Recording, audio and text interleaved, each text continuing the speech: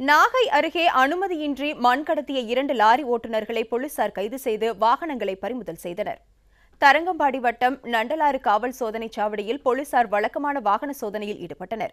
அப்போது அந்த வழியாக வந்த இரண்டு லாரிகளை சோதனை செய்ததில் அவற்றில் உரிய அனுமதியின்றி புதுச்சேரி மாநிலம் காரைக்காலுக்கு சவுடு மண் கடத்த இருந்தது தெரியவந்தது.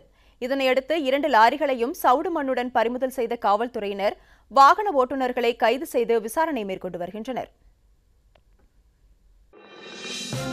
இது போன்ற முக்கிய வீடியோக்களை உடனுக்குடன் தெரிந்து கொள்ள நியூஸ் ஜே யூடியூப் சேனலை சப்ஸ்கிரைப் செய்யுங்கள்.